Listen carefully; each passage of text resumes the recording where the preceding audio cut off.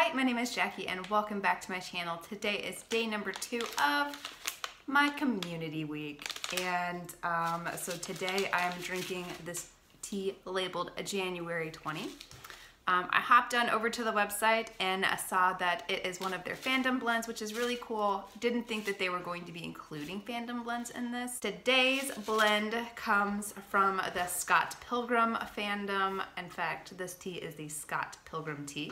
I'm kind of nervous because when I hop onto the uh, Adagio website, I think that they said that the flavors in this was caramel, peach, and osmanthus and I hate, hate, hate osmanthus.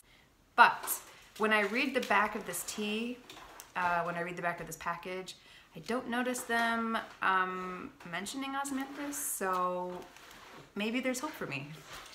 Um, so the Scott Pilgrim tea, at least according to the package, has black tea, Assam melody, natural caramel flavor, natural peach flavor, peach pieces, marigold flowers, and apple pieces. This is what the tea looks like, just a really simple black tea with, you can see the peach piece and the marigold flowers, and the rest is just flavoring. I can definitely smell the caramel. I mean, I can definitely smell both the caramel and the peach, which kind of surprises me because I always feel like sometimes when you have like those two, like the two flavorings added, one kind of falls by the wayside and the other one's more prominent, but I would say both of these are fairly equal. So I'm kind of interested. And no no sign of the osmanthus, so I think I think I'm in the clear. I'll be interested to see what I think of this um, because I've I've had Adagio's peach black tea, and it's it's a fine tea, but it's not anything that I love. Um, so I'll be interested to see how, I really love the caramel black tea. So I'll be interested to see my opinion of this, if, if, if I like it more than their normal peach tea. I don't think I mentioned this in my previous video, but those little packets, they give you a pretty decent sized serving. It, it looks like it fills up, or at least comes really close to filling up um, that Perfect DavidsTea spoon. So I kind of feel like they're giving you two teaspoons of tea. But I like my tea strong, so even though this should probably be about 12 ounces, um, it's maybe it's eight. So, um, so I steeped it um, in eight ounces of water, uh, 212 degrees for three minutes, and I did add sugar. Uh, I tasted it without sugar. I personally, this is not a tea that I would drink without sugar. Mm -mm. Let's taste this. Let's taste this again, but with sugar. So, I'm in love with this tea. All of my initial uh, anxieties about it uh, are, are out the window in the snow. Um, there's no osmanthus in this. I don't even think that they sell that tea on their website anymore, so they couldn't include it in their blend. Thank goodness. Second, um, I think I think Adagio tea's peach tea is just mediocre. Um, it's not something that I prefer to drink. It's not something that I would buy. This is awesome.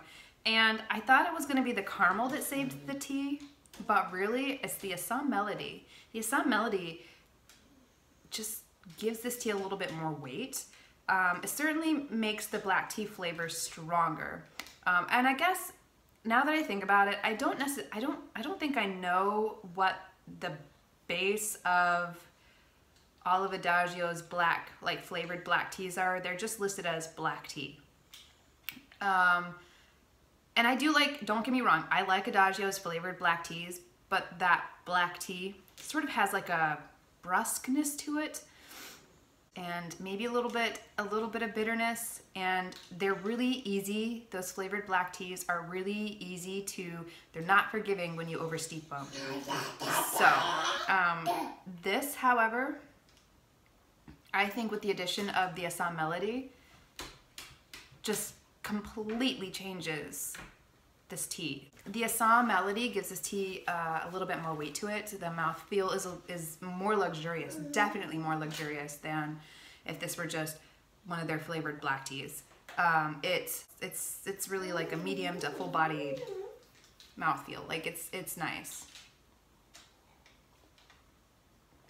Um, it's a little bit more malty than I than I think their normal black teas, but it's also smoother than than their their flavored black teas.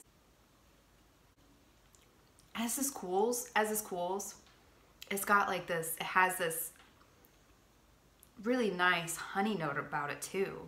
So I've been going back and forth about whether or not I want to do the communiTEA, like subscribe to the communiTEA. But this is kind of one of the reasons why I would subscribe to the communiTEA teas because I'm not really a fan of Scott Pilgrim. I never read the graphic novels. I saw the movie a couple times and it's fun, but like didn't really speak to me the way it spoke to other people. So this is not a tea I ever would have tried, but the communiTEA put this in front of me and it's awesome. So there's that aspect of like discovery of of new blends that I would miss out on because I'm not a fan of I'm not a fan of like Scott Pilgrim or whatever, you know. So that's really cool. I'm happy this morning. It's been a good morning. Oliver's just been eating plums. I've been drinking this really delicious tea. We've been watching the sun rise. So, of course, it's all to end soon because it's Monday morning. And I've actually been like stressing about today since yesterday because I have I have two deadlines today that are just to be like time consuming. It's to be a long day. But at least I have this tea moment and other tea moments throughout the day to look forward to. But this tea moment is awesome. So I think that's the end of this video. If you've tried the Scott Pilgrim blend, let me know your thoughts on it. Did you like it as much as I liked it?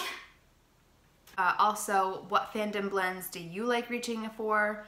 The ones that I go for the most are probably Harry Potter, The Lord of the Rings, and Dragon Age. And if you enjoyed this video, please consider liking and subscribing, and I hope to see you guys again soon. Bye.